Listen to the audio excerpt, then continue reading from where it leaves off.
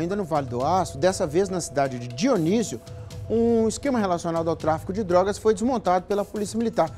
Aí a Gisele vai contar pra gente aí, né, como é que foi, é, aliás, como é que foi a prisão e também as apreensões aí, né, Gisele?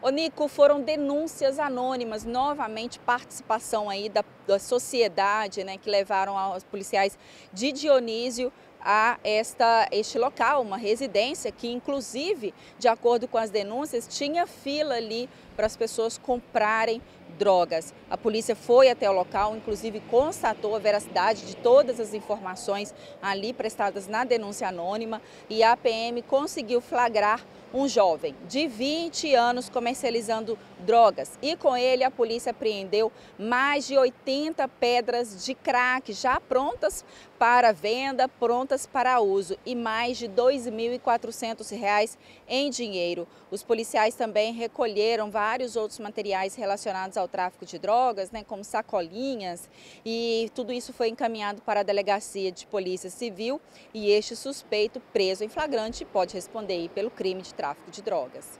Nico, Obrigado, Gisele, por sua informação.